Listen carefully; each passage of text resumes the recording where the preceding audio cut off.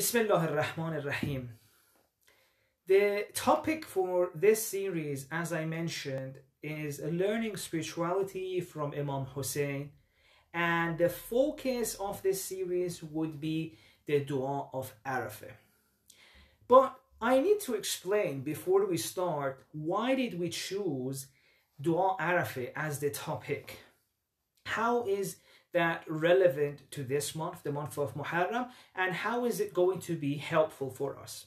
Well, in order to explain that, I need to mention two ways of looking at the events that take place in Muharram, and particularly the events that take place on Ashura. There are two ways of looking at what happened in Ashura, two models of narrating the events. In one narration, what you look at is the tragedies, right? The mourning is dominant. You look at the things that happened to Imam Hussein, happened to his family, to his companions. And in this narrative, the main actors are not Imam Hussein and his family. The main actors is Omar bin Saad, is Shimr. And Imam Hussein and his family are only the victims who are now going through these great and unexplainable difficulty, suffering, and um, cruelty. But it is not a story of victory. It's a story of mourning. It's a story of tragedy. But there's also another way of looking at Ashura, and that is a kind of looking at Ashura that put Imam Hussein and his family and companions as the main actors of the narrative. We're no longer looking at a defeat, but we're looking at a victory right? It, the sadness, the tragedy are not the dominant themes. Although they are there, it is in fact a tragedy, but the tragedy should not be the most bright thing that is shining from that event and from that day. Because if that is the case, then Ashura was a defeat for Imam Hussein, whereas we know for a fact it was not. The same is what we have with Imam Ali alayhi salam, that even on the day when he was stricken, what does he say? Fuztu wa rabbil Kaaba. I am not defeated. This is in fact my victory. So we are going to look at Ashura and see not only the sadness and tragedy, but the victory. And we're going to put Imam Hussein as the main actor. Now, if we want to do this, then we're no longer going to talk about what the other army did. Oh, they struck Imam's hand. Oh, they did this. Of course, all of that has its place and has been covered. Now we're going to be speaking about how is it that in the heat of the battle, when Imam Hussein has already lost some of his friends and companions, when his daughter calls Imam Hussein, Imam Hussein doesn't say, can't she see we're in the middle of a battle? Can't she see like, no, he gets off his horse and says, what is it, sweetheart? What is it, the light of my eye? So the question is this, where does this calmness, this vastness of heart comes from? This capacity to remain so loving and calm despite all of that tragedy. We want to know how is it that on the day of Ashura, when Habib bin Malahir is talking to one of the other companions, he is making jokes. Why is he making jokes on a day like this? Why is it that as the day of Ashura is going on, as the tragedies, tragedies are piling, but the faces of the army of Imam Hussein are brightening, brightening. They're becoming happier, more excited, more passionate. Why is it that Lady Zainab said, وَمَا رَأَيْتُ إِلَّا جَمِيلًا And I did not see but beauty. Well, the question is, what in the narrative that we usually tell of Ashura is beautiful? Is the murdering of Ali Asghar beautiful? Is the Shahada of Ali Akbar beautiful? Is what they did to Hazrat Abalfazl beautiful? In fact, not. So we have to look for the beauty elsewhere. The beauty is in what was happening inside these beautiful characters. The beauty that Lady Zainab can see despite all that is happening around her has roots within her. The calmness Imam Hussein shows to be able to be there for his daughter in the heat of the battle and still be loving and caring and listen to her. This is coming from within Imam Hussein. And when we look at Ashura this way, we are now faced with a lot of questions. Are these even real? Did Lady Zainab actually said, وَمَا رَأَيْتُ إِلَّا جَمِيلًا? How is that possible? How can a human being in such difficult situations still see beauty, remain calm, be blissful, make jokes, make jokes like Habib bin Madahir? So these are the questions we are going to have if we look at the story of Ashura not as a tragedy only that leads to defeat, but as a victory. So, when we want to answer this question, we realize that this beauty that they saw, this calmness that they had, comes from the state they had within themselves, right? And that is going to be the focus of this series. We want to know more, not about what happened to Imam Hussein, but was what's happening within Imam Hussein. What was his spiritual state like? What was his relationship with Allah subhanahu wa ta'ala like?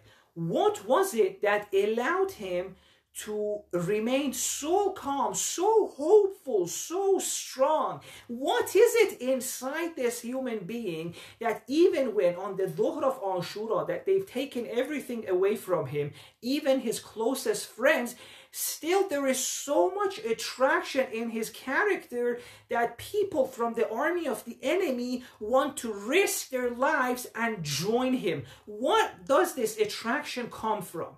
Right? And the attraction comes from the greatness that a human soul can achieve. And this is where we need to focus, inshallah, in this series. And it is only, I believe, in looking at Ashura this way that we will actually start to become like them. Because if we don't focus on what Imam Hussein was like, we can mourn him for decades and never become like him. In the same way that there were people next to the Imam or even Imam Ali and they never became like them.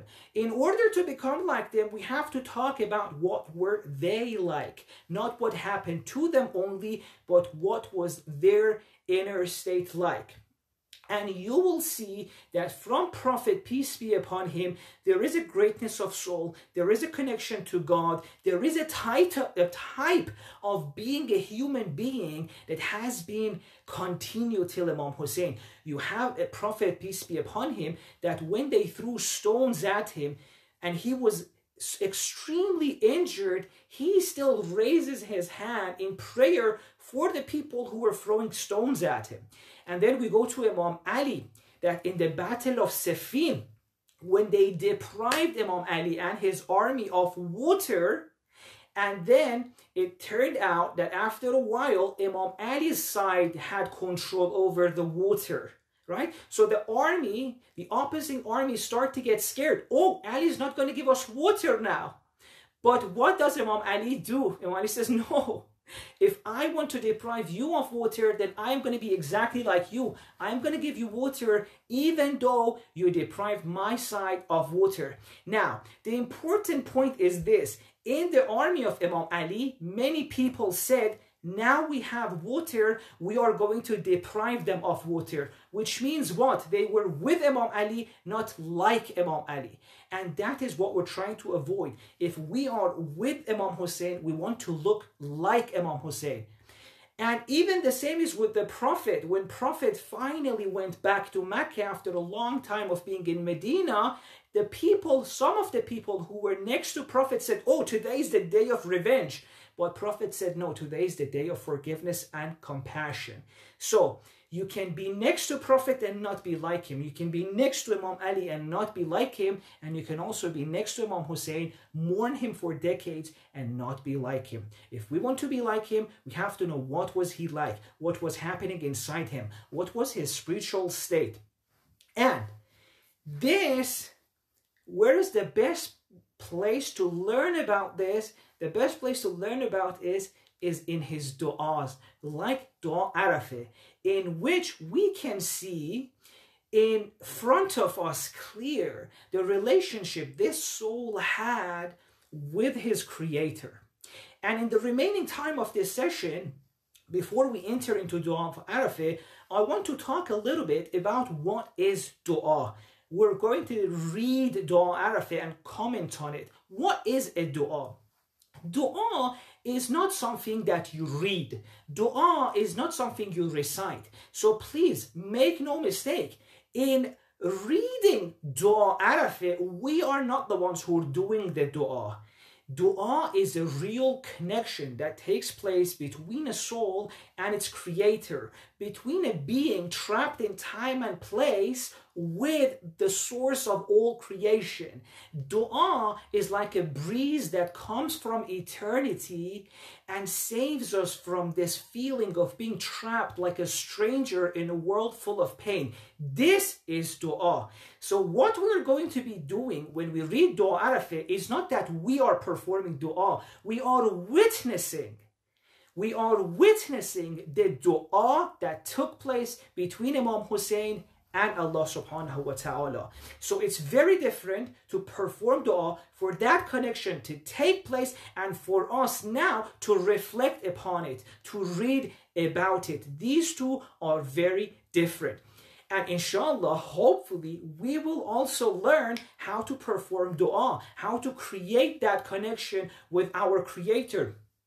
Inshallah, we will learn that through dua, we can transcend the limitations of this physical world and this physical life and look at the universe, ourselves, and God in a new way. We can see the hidden forces behind the universe, the rules that are there about this universe, but we can only see if we're looking at it from a height. And of course, we may never be able to look at the universe from the heights that Imam Hussein looked at in Dua Arafah, but no worries because we have access to Dua Arafah and we can learn a lot about the universe from Dua Arafah. I will mention a few of these and inshallah from tomorrow onwards we'll actually jump into the dua and start enjoying the dua which took place between Imam Hussein and God. But there are going to be many rules, many spiritual rules about the universe that we will learn from this dua, such as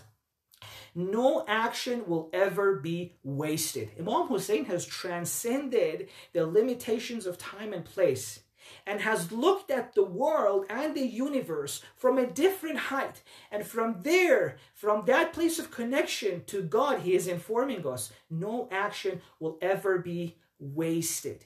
Now, an important point, and I have one minute 40 seconds left till the end of this session, is that if we want to teach our children about Imam Hussein, about the Ahl al-Bayt, part of it, of course, is to tell their stories, what happened to them.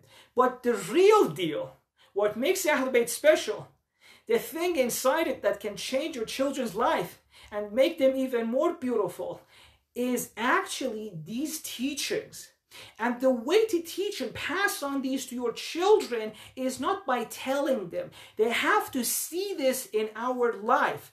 So if Imam Hussein in Dua Arafah, for example, tells us that no action in this world is wasted, God listens to all your sorrows. God's always there for your pain. The way to teach your children about Imam Hussein is not to tell them these, but live in a way that they see in your life that you feel God is always with you. Live in a way that they see that you always feel heard when you have problems. And of course, it's not easy. We have to learn, and that's exactly what we try to achieve in this series. Learn to implement these lessons in our life, and by looking at us, hopefully, our children will learn about the Ahlul Bayt because that seems to be the only way. Inshallah, tomorrow we'll continue and we'll start the dua. Thank you so much. Wassalamu alaikum wa rahmatullahi wa barakatuh. Inshallah, in a few hours, this lecture will also be uploaded on YouTube. Take care of yourselves. See you tomorrow.